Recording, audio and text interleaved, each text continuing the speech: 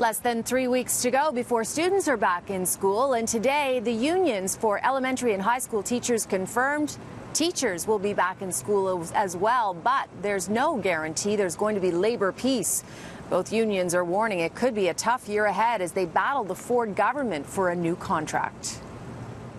We have seen hostile governments come and go, but we are still here.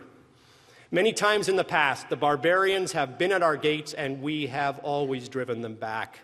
We have seen the likes of Doug Ford, but he has never seen the likes of OSSTF. That's pretty strong language from the head of the high school teachers union who claims the Ford government has declared war on education.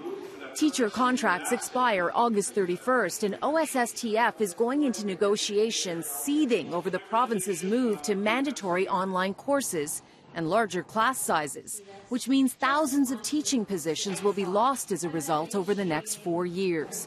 So, yes, teachers will be in class, but some form of a labor disruption is a possibility for later in the year. We've already seen uh, courses canceled, we've seen support staff laid off. So, am I optimistic? I, I think that would be that would be a stretch. I'm very concerned that we've got a government that thinks uh, that doesn't recognize the the the investment value of public education in Ontario. Elementary teachers were meeting today at the same time. Their union president warned this could be the calm before a tsunami. Doug Ford, you have woken up a sleeping giant. Both high school and elementary teachers are facing the possibility of a 1% annual wage cap after the Ford government introduced legislation limiting pay increases. The unions say this interferes with bargaining. ETFO also says one of its priorities is to fight for the future of kindergarten teaching jobs. Currently, kindergarten classes have a teacher and an early childhood educator.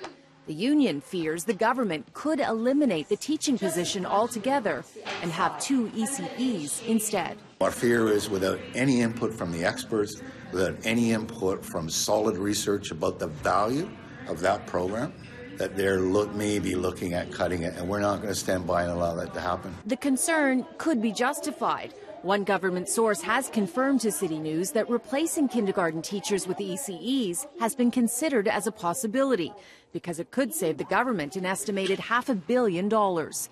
The new education minister said today, despite the union leader's warning, he remains cautiously optimistic. As certain union leaders are preparing for battle, as was his words, I, in the ministry, and this government, the Premier, is preparing for the first day of class.